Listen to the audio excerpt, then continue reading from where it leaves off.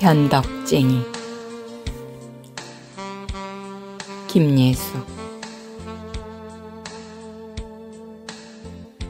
너무 깊이 빠져들었나 봅니다.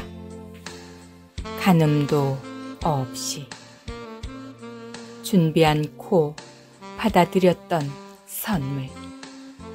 호강이 무수히 쏟아졌던 별밭 여기쯤에서 선물 상자를 풉니다. 바바리 손잡고 오르던 길.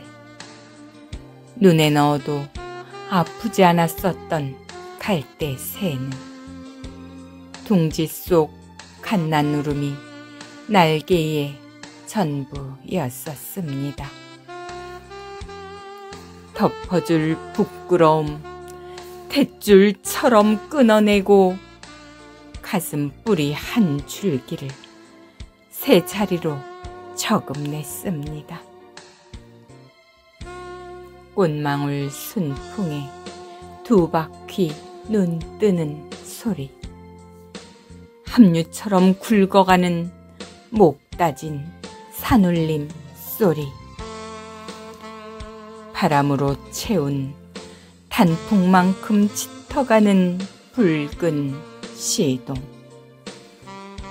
가을로 익히는 계절 세곡간에 기도를 쌓았습니다.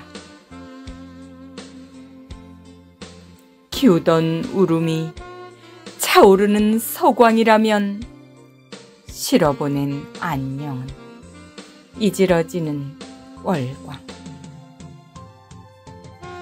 떠난 헛동지에 남은 서우는 몇 밤이나 될까요? 왜 이렇지요? 왜 이렇었지요? 향기조차 헤매는 더듬이에 마비된 방황. 시린 행복이 방 하나를 차지했던 거기까지가 어미 새의 품 안이었었습니다. 물빛 어른거리는 바람에 낮 간지러운 갈대 새는 굳어있던 옹이쌀을 불리고 있었습니다.